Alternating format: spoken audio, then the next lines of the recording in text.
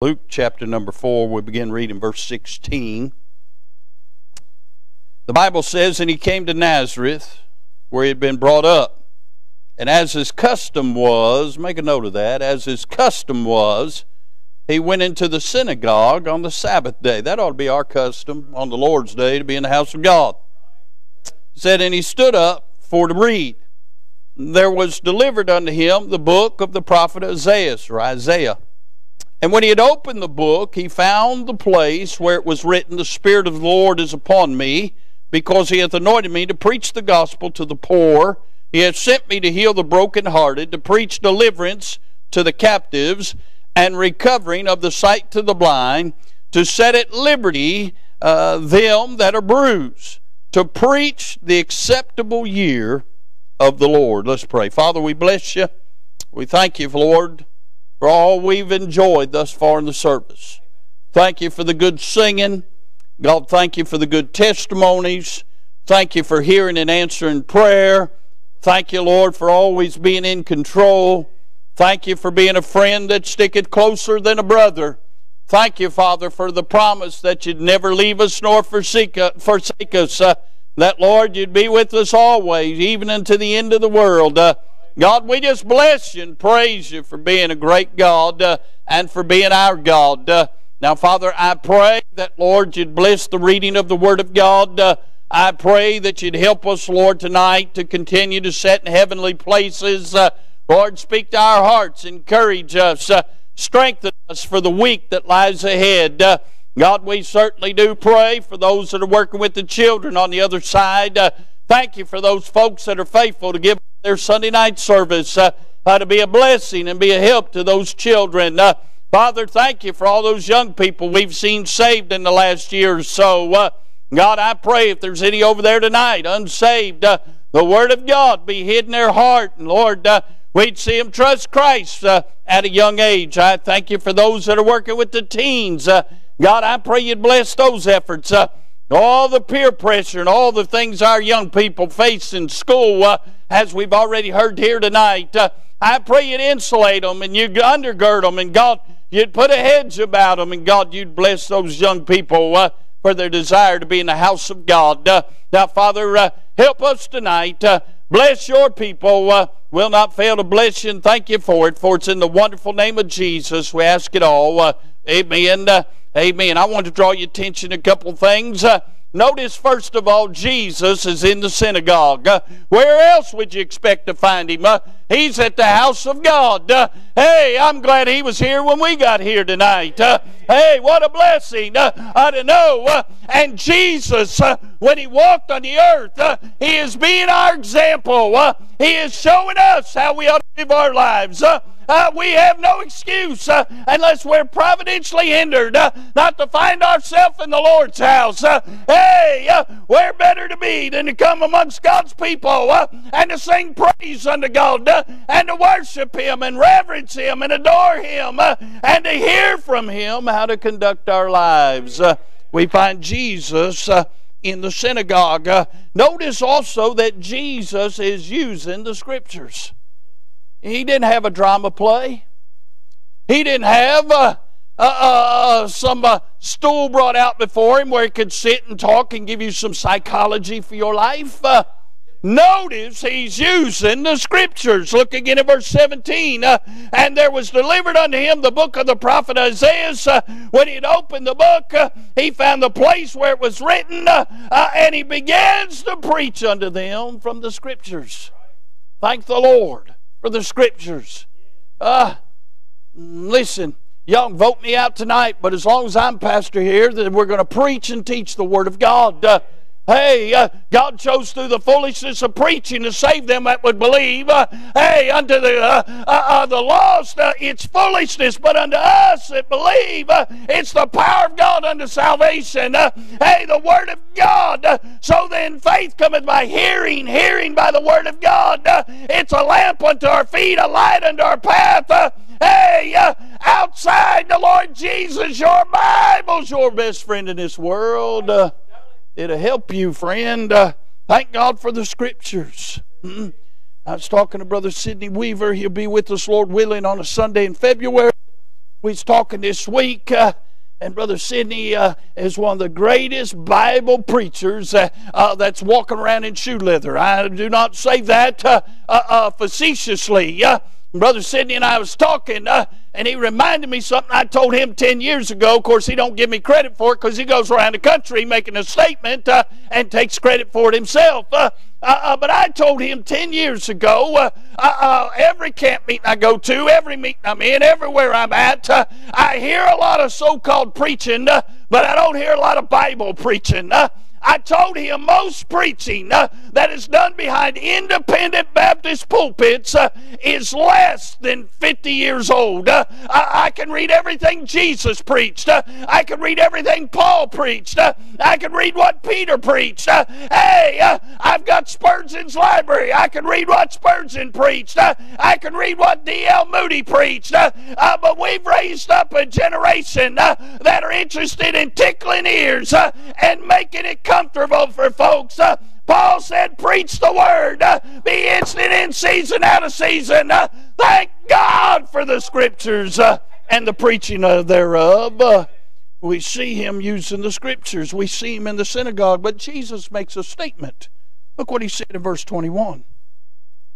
And he began to say unto them, This day is this scripture fulfilled in your ears. Jesus makes a statement. He says, uh, suck it up, buttercup. This day's upon you. He's saying, I'm him that the Bible said was going to come and do these things. Mm. Uh, today's your day, is what he told them. Uh, can I say, today's our day to be seated in heavenly places. And if you've been plugged in around here today, you've been set in heavenly places. But then notice Jesus under scrutiny. Look in verse number 20.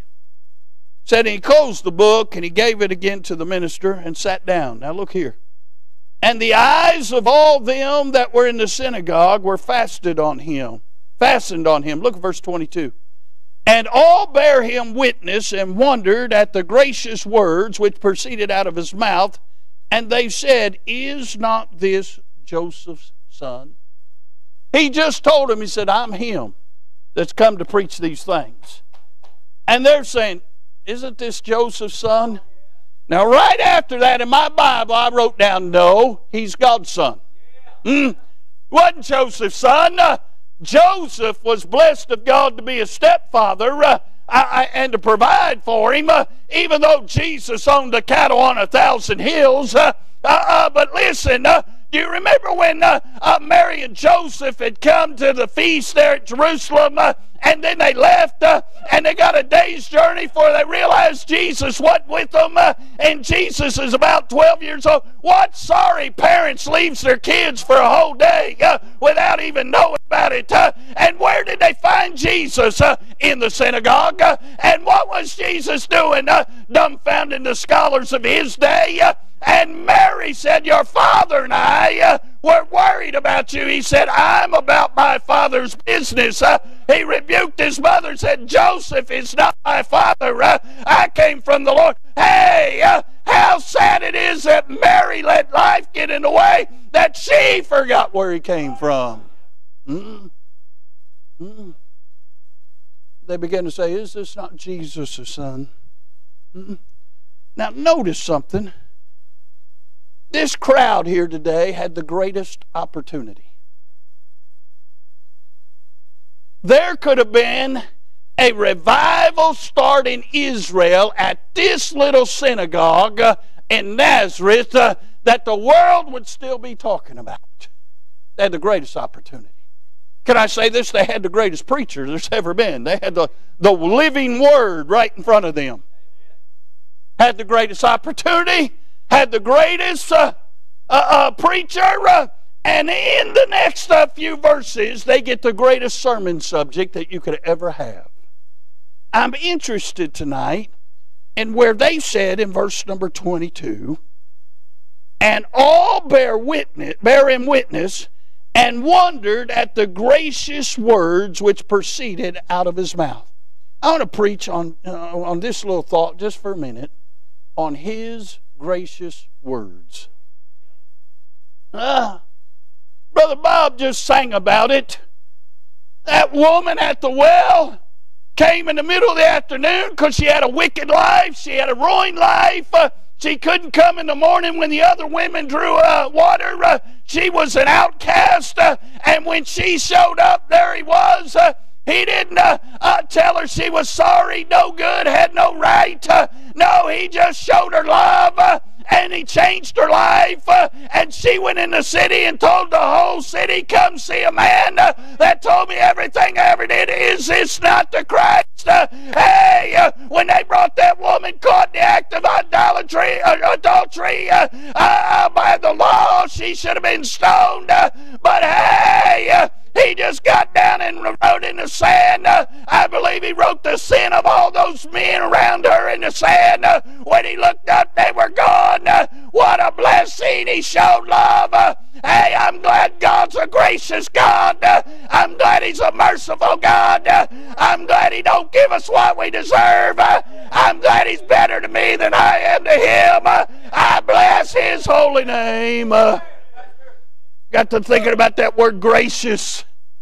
That word gracious means having or showing kindness. It means having or showing courtesy. It means having or showing charm or compassion. Can I say that word means indulgent or polite to inferiors? He is so far above us, but he makes us feel so comfortable around him. Huh? He is so beyond who we are. He's holy. He's altogether lovely. He's the Lord of all. But He makes us feel right at home in His presence. He's so gracious. I got to thinking about grace. Grace is the unmerited love and favor of God toward man. And what they're about to hear the greatest subject matter of any sermon, uh, he begins to preach to them about grace. Uh, hey, who more to know about grace than the gracious one? Uh, and he begins to expound upon them about God's grace. Uh, hey, uh, we ought to get beside ourselves, uh, realize that we ought to be in hell tonight, but I'm not going. Why? Because of the grace of God. I couldn't earn it. I don't deserve it, but He gave it to me anyway.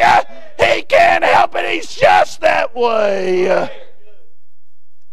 Can I say it's grace that puts us in the way? It's grace that helps us along the way. And it's grace that'll take us all the way. Thank God for grace. Uh, oh, I bless His holy name. Let me give you these three points. We'll go to the house. I want you to notice in this chapter that grace is proclaimed. Look again at verse number 18. He said, The Spirit of the Lord is upon me, because he hath anointed me to preach the gospel to the poor. He sent me to heal the brokenhearted, to preach deliverance to the captives and the recovering of the sight to the blind, to set at liberty them that are bruised. Uh, can I say, uh, he's talking about folks that can't help themselves. Uh, he's talking about folks whose lives are a mess. Uh, and he comes to bring grace. Uh, he comes to help them in their lowest state. Uh, can I say, the me- method he's going to use is the preaching of the gospel. Hey, there's no one going to get to heaven without the preaching of the gospel. Uh, the good news uh, that Jesus came uh, and he died, was buried, and rose again. Uh, and the good news is you don't have to die in your sins. Uh, there's grace available for you tonight. Uh, can I say, through the preaching of the gospel, we find the preaching of the gospel to the base ones. he said he came to preach the gospel to the poor those that don't have anything, uh, those that couldn't muster up enough to uh, uh, be worth anything, uh, those that couldn't earn their way anywhere. Uh, uh, listen, aren't you glad God saves poor folks? aren't you glad He came to the folks from the other side of the track? I'm looking around. I don't think there's any blue bloods in here. Uh, I don't think anybody was born with a silver spoon in your mouth. Uh, most of you have had to pull yourself up on your own bootstraps. Uh, most of you are what you are by the grace of God. But aren't you glad? Hallelujah. It's not about how much money you got in your pocket. It's not about your pedigree. It's not about the address where you live. It's about what Jesus can do for you. Aren't you glad? He came to preach to the base ones. Uh, can I say this? Not only he did he preach to the base, ones, he preaches to the brokenhearted. Mm. I read a statistic several years ago that the unchurched world, those that don't go to church, uh, those that live across the street from you or down the street from you, those that on Sunday morning when you're on your way to church are out mowing their grass or raking their leaves or doing something other than church things. Most of the unchurched world won't consider going to church or get involved in church until a tragedy's happened in their life. And then they say the church that they usually go to is the one uh, that has either been there the most uh, or the one that uh, uh they identify with the most because they know somebody that goes there. Can I say?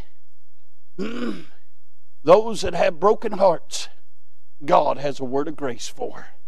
Uh, can I say this? Uh, he also came to those uh, that were held captive, those in bondage. We preached on being in bondage a little bit today. Uh, I'm glad I got captivated by Jesus one day, though. Uh, hey, came to the blind. By the way, uh, uh, uh that verse in Isaiah uh, said that only God could open up blinded eyes.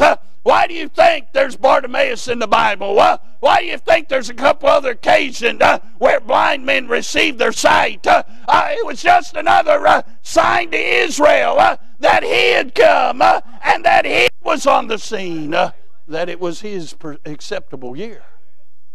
And I say, there's a lot of people that can see naturally, but they're blind spiritually. But the gospel opened up blinded eyes. And he came to the bruised that what it said? And to set at liberty them that are bruised. I say this often. One of these days it's going to sink in. You never know the hurt behind the smiles that people wear when they come to church. Now, I'm privy to know things that you don't know.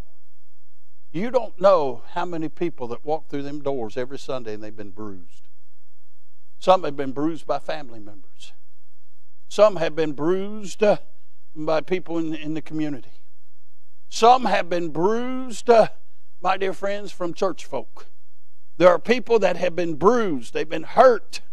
Can I say there are some that have been hurt physically, but usually the ones that have the hardest times are those that have been, bu- uh, been bruised mentally and they they constantly live with that and they deal with that. Uh, when they come to the house of God, they don't need cut on. Uh, they don't need chewed up and spit out. Uh, they need grace. Uh, they need some help. Uh, they need to hear those gracious words of the Lord uh, that will help them in their condition. can I say? We find that grace is proclaimed in verse number 18. And friend, wherever you are in life, He has grace for you. Uh, we not only see grace proclaimed in this chapter, I also find grace is illustrated in this chapter. Look in verse 25. Verse 25, he says, But I tell you of a truth. Many widows were in Israel in the days of Elias, when the heaven was shut up three years and six months, when great famine was throughout all the land.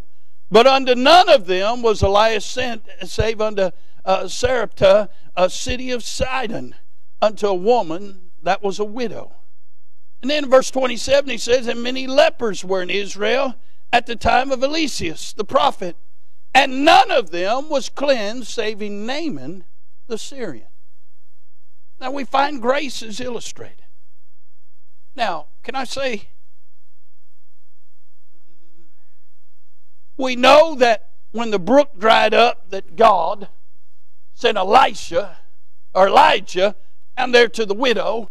She was going to make a cake for her and her son. They were going to eat it, and die. That's all they had. And the man of God shows up and says, Make me a cake first. Isn't that like a preacher? You take care of me and God's going to take care of you. Huh? That is Joel Osteen preaching right there if I've ever heard it. Uh, you plant a seed and God's going to give you $10,000, huh? No, he was trying to get her to exercise her faith. So she was obedient to God's man. She made him a cake. But then every time she went back to that meal barrel, she'd reach down in and there, she'd empty it out, make a cake. She'd squeeze out that cruse of oil and have oil. But the next time she needed meal, it was there. Next time she needed oil, it was there. God sustained her and sustained her and sustained her uh, uh, that's just the way God does it. Uh, sometimes uh, He'll let you see way down the road, uh, but most of the time, Brother Clayton, in my Christian life, uh, I see where He just has us do it one step at a time, one step of faith at a time, and God makes a way, and God provides, and God takes care of things, and God met the needs of that widow lady. Can I say uh, the same thing uh, uh, about Naaman? Uh, had a little widow, uh, I mean, that little maid that was from Israel. Uh, she said, Would to God you get down there to the man of God, uh, uh, because the man of God down there, he'd heal you of your leprosy. now, leprosy is always a type of sin. there was no cure for leprosy, and there's no cure for sin, but there was a cleansing for leprosy. And bless the Lord, there's a cleansing from sin. hey, if God showed you grace and you got cleansed from your leprosy, you'd have to go to the priest, uh, and through a, a, service with the priest, uh, he could proclaim you uh, cleansed from your leprosy. We find Naaman went down there.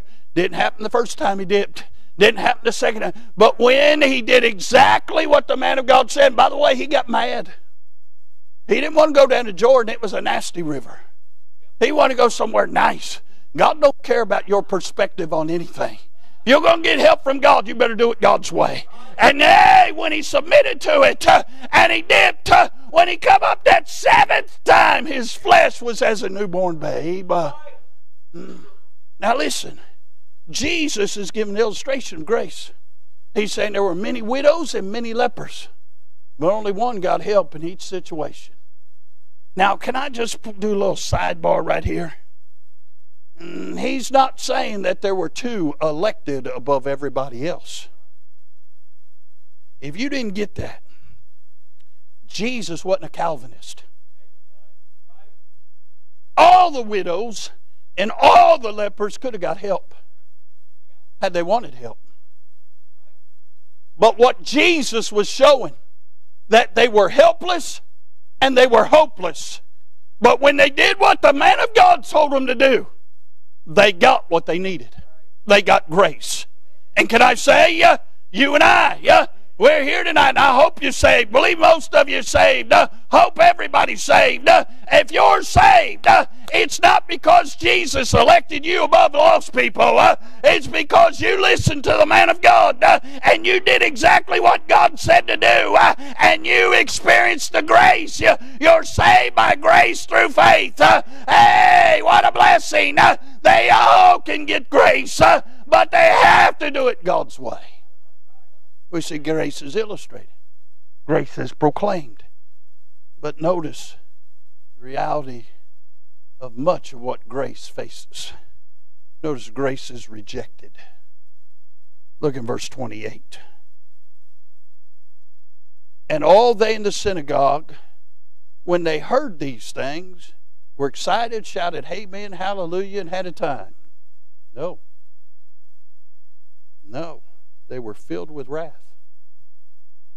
Rose up and thrust him out of the city, led him down to the brow of the hill whereon the city was built, that they might cast him down headlong. But he, passing through the midst of them, went his way. By the way, he's only God. He was looking for another hill, not that hill. Uh, they heard what he had to say, they were filled with wrath. And was wanting to do him in. Do you know how many of God's men have stood up, proclaimed grace to people, and people get mad? How many times God's people show grace to somebody and they get mad? I mean, the only thing this church is here for is to help people. We're to help the lost get to Jesus. We're to help the backslid, those of the will of God, get back to Jesus. We're to help the folks that are faithful to stay with Jesus. Everything this church stands for is for the Word of God, which is designed to help people. God came to us in our lowest state. And He gave us the most precious thing this world has the Word of God so we can know the ways of God. And that's what this church is all about proclaiming the Word and will of God for every man. Can I say there are a lot of people, they get mad. Now, can I say if that crowd there would have understood that Jesus was for them and not against them, if that crowd there would have been willing to put their tradition away and listen to what he said, oh, he would have helped them. But you see, they love tradition and they love themselves more than the thought of being saved from themselves. I told you the other day, the middle letter of pride is I. They were filled with wrath because they were full of pride. They didn't want to be told what to do. And I say, anybody that gets mad at preaching, it's because they themselves is the Lord of their lives. And they will not do what God tells them to do. He came to give them gracious words. They even admitted they were gracious words. And he came and proclaimed grace. And that wasn't good enough. Friend, if grace isn't good enough, I don't know what can help you. Because what we all need is God's matchless grace in our life. Thank God for saving grace. Thank God for sustaining grace. Huh? Thank God for supplying grace. He supplies every need. And hallelujah, one of these days, thank God for separating grace when He's going to give us dying grace and take us out of here. Huh? It's always been about grace. Tonight, When's the last time you really thanked Him for His grace? When's the last time He treated you, you thanked Him for treating you like an equal and not, a, and not Him being a superior? When's the last time you thanked Him that He's been far better to you than you deserve? He's a good God. And He always has gracious words for you and I. Never, ever take for granted the grace that has been demonstrated to you and I. Let's all stand tonight. Maybe you need to come tell him you love him. Maybe you need to come tell him thank you. Maybe God's used somebody to show you grace. Maybe you want to put your arms around them and thank them for being a blessing to you. Maybe he spoke to you about something else. You just mind the Lord in during this invitation. Brother Ray come get a song of invitation as they're picking out a song. Let's pray. Father, we sure do bless you. Thank you for the Word of God, the gracious words of God. Lord, thank you for being so good to us. Thank you, Lord, for the times you put up with us. Lord, the long suffering you show us even since we've been saved. Lord, thank you for winking at our ignorance so many times. God, thank you for being so gracious. Now, Lord, there may be somebody here tonight, a stranger to the grace of God. Lord, if that's the case, please deal with them about their sin. God, that we might see them birthed into the family of God. God, those that are saved, God, help them to live in light of the grace of God. And God, help them to share you with a lost and dying world. God, somebody might need some special help here tonight. They might be real low, real struggling, really with something great in their life. God, maybe you just need to send one of your vessels by their way to encourage them. God, whatever's needed in this invitation, God, you, you do the leading. Give us the grace and strength to be obedient. Have your will and way. And Father, we'll thank you for it. Thank you again for the good grace of God. For it's in Jesus' name we pray. Did you know that IBC is now on iTunes, TuneIn, SoundCloud, and Google Play? Head on over to your podcast provider and subscribe today. And as always, thanks for listening.